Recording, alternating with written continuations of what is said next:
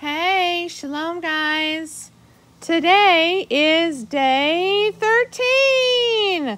The 13th pictograph is Mem. I love Mem. I mean, I really do love Mem. Water. Mem has so many models. We have any type of fluid, blood, water that you can think of, oil. Um, Mem is my favorite because uh, being from the tribe of Zebulun, Zebulun has to do with a boat and sailing upon the waters. Has to do with being fishers of men. And um, and so I really like this pictograph and he's spoken to me a lot regarding it. So today we are reading Jeremiah 29:11 and I don't actually have to read this cuz I have it memorized, but it words it a little differently in this book, so I'm just going to read it out of here. All right. For I know the plans I am planning for you, declares Yahweh.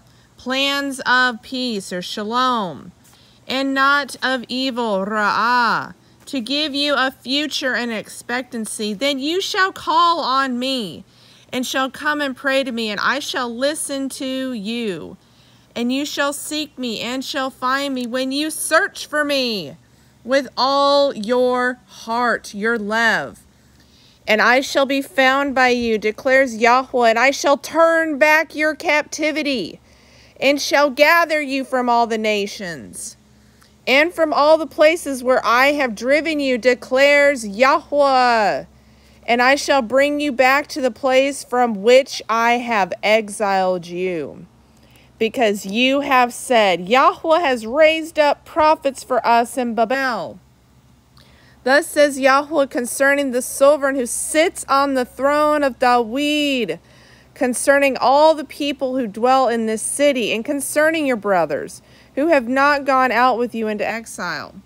Thus says Yahweh of hosts, See, I am sending on them the sword, the scarcity of food, and the pestilence, and I shall make them like spoilt figs, so spoilt as to be uneatable.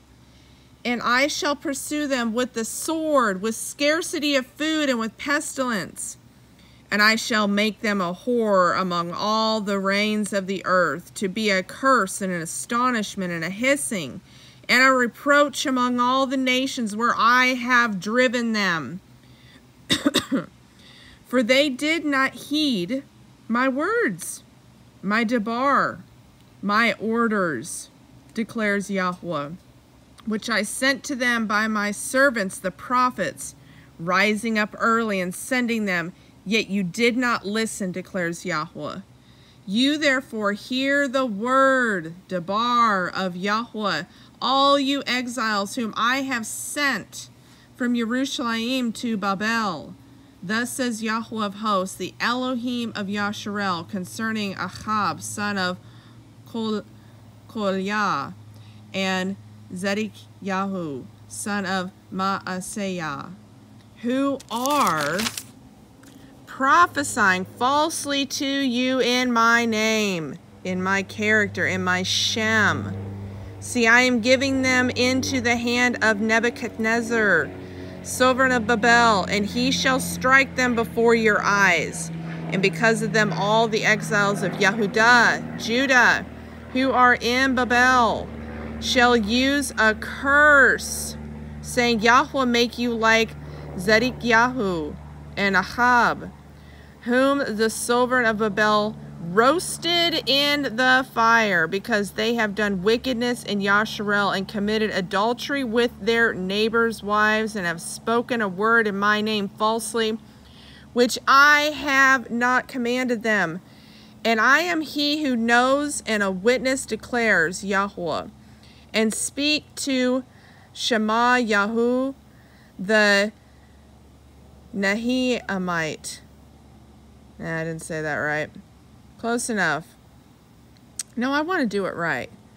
Nachiel Amite, saying, Thus speaks Yahweh of hosts, the Elohim of Yasharel, saying, because you have sent letters in your name to all the people who are at Jerusalem, to Zephaniah, son of Maaseiah, the priest, and to all the priests, saying, Yahweh has made you priests instead of Jehoiada, the priest, so that there are overseers in the house of Yahweh over everyone who is mad and makes himself a prophet that you should put him in the stocks and in the iron collar.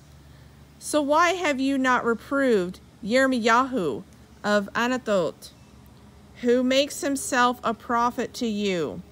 For he has sent to us in Babel, saying, This captivity is long. Build houses and dwell in them, and plant gardens and eat their fruit. And Zephaniah the priest read this letter in the hearing of Yirmiyahu, Jeremiah, the prophet.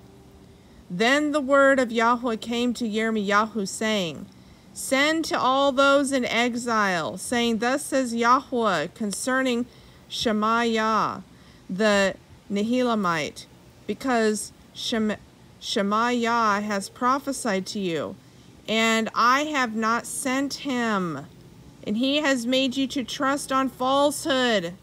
Therefore, thus says Yahweh, see, I am bringing punishment upon Shemaiah, the Nehelamite, and his seed. He shall have no one to dwell among his people, nor is he to see the good that I am about to do for my people, declares Yahweh, because he has spoken apostasy against Yahweh. Okay, so going back here,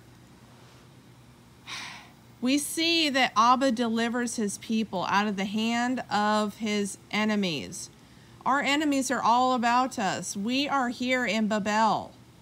We are the 12 tribes of Israel. I don't know if anybody knows what tribes they're from. Some that watch this channel may have been revealed this. But for myself, I am from the tribe of Zebulun, and Abba has shown me what my place is within this tribe, within the 12 tribes of Israel. And so, what he has planned for us is his plans plans to give us hope and a future and an expectancy. So, when we call upon him to deliver us out of our stresses, out of our enemies, that are surrounding us like vultures and lions and and wolves seeking to devour, he delivers his children, his daughters and his sons.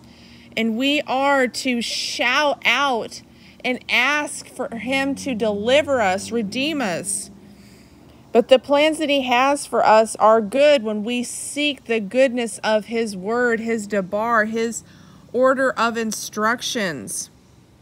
So, what stands out to y'all from what I read? Please share it in the comments. I'd like to hear y'all's interaction uh, to what I just read today because he delivers us. His word is the living waters. This actually goes back to the, the pictograph for the day. Mem is the 13th pictograph. It has to do with the living waters.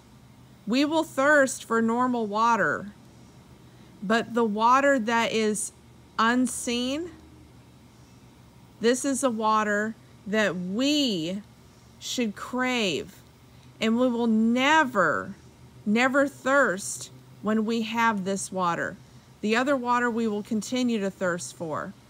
But Yeshua and the living word, he is with us and he will never forsake us for he is flowing through our veins. That's part of what Mem is. Mem is the blood. The life of Yeshua is flowing through our veins. And we do not need to worry, but put our trust in Abba. And he shall bring us through whatever trials we are faced with, both small and great. That's what I got for y'all today. Shalom, Havarim. I'll see y'all back here tomorrow. Bye.